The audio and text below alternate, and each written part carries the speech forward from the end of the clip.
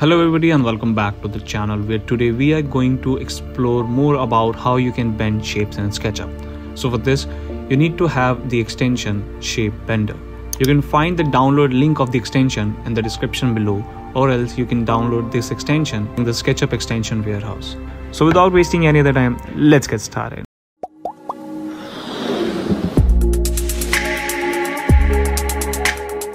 To start with, we have a basic geometrical shape and it's a ramp. How we can start is you can you need to have a object. Secondly, you need a baseline. Third, third, you need to have a curve along which you want to bend your shape. So to start with, you have to select the object and then click on the shape bender extension. Click on this and then select the baseline.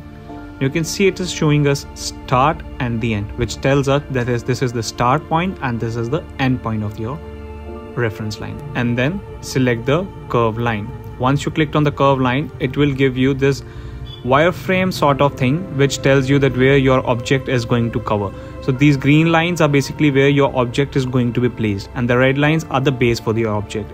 Now if you see carefully you have a distance from this black line which is your main reference line. And when i click enter uh, you can see that place my object along the curve. Now the distance between this line and this line is same. So if you want to avoid this thing then you can simply move your object or either your line. Just simply move your line to your near to your object and then select the object click on the shape bender tool select the object and then select the curve. Once selected the curve you can see you have your ramp along the curve. Now you can use your upper keys to shift the direction of the object and when you are satisfied with your final product you can simply click on enter. Now this was an easy way to how you can make a curve ramp. Well we have a lot of ways to do that. We'll try to cover that in another video. For now we are just sticking to how you can bend shapes in SketchUp so the second example is the railing. Well there are a lot of situations where you need the curved railings or you need the railing as per your custom design. So this tool can help you make the custom designs of railing easily.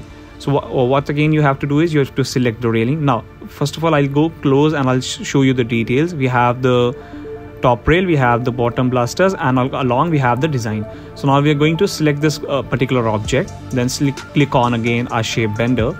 Select the single line and then click on the main curve line. Once you click on this it will take a little bit of time to make your object as a wireframe object to appear there. So let me just zoom in. As you can see this particular design is bended along the curve and there is no distortion in the object. And again you can use your upper keys or the lower keys to uh, replace the direction. Once you're satisfied just simply click on enter. See you can zoom in and you can see the details. The thing is they look exactly similar and now we have a curved or you can say a bended railing as per our design. Not only this, you can also bend the staircase along the angles you need. So for that, you have to have your staircase object as a component or a group. Select the tool and then click on the line and then select your curve line. It is showing you again the wireframe figure that how you need to place it. You can use your upper key to change the direction from left to right. And once you're done, you can simply click on enter and there you have it. Well, again, there are a lot of ways to bend your staircase. It's just an example that what all things you can do by using this shape bender tool. Coming towards the next, now here we have a helix circle thing. Click on this line, you see the length of the object. Now with it is 34711. So let's just uh, let's just make the length of the rectangle exactly the same of the 34711. So let's just do it the same 34711. Okay, nice so it's almost similar. Yeah now it's clear. And now we are going to perform the task again. Now we're going to select this object click on the shape bender tool and clicking on the straight line now again click on the curve line.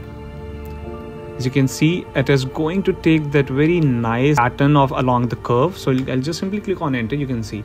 Now again uh, this thing is the segment thing. For this you need to have better segments for your curve you're using. Right now we were not using a lot more of segments.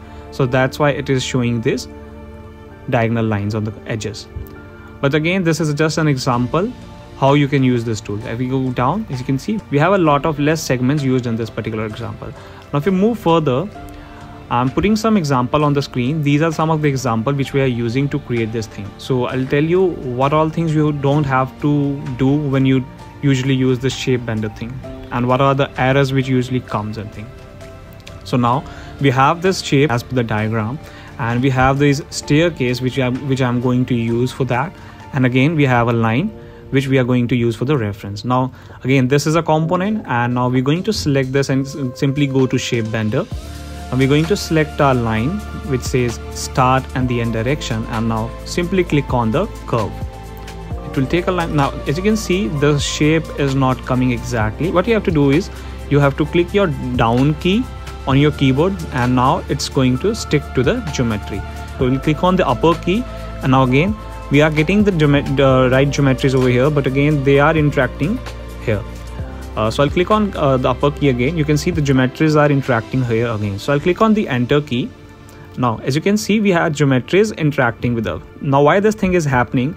Because now the distance is too much. Like if you go to this particular thing and we uh, see the distance, now it's 3000 mm. Now, what happened if we decrease this particular distance? So we have another example with the decreased distance, with the decreased width of this. We're going to select this component, click on the shape bender, click on the line, and then again click on this particular path.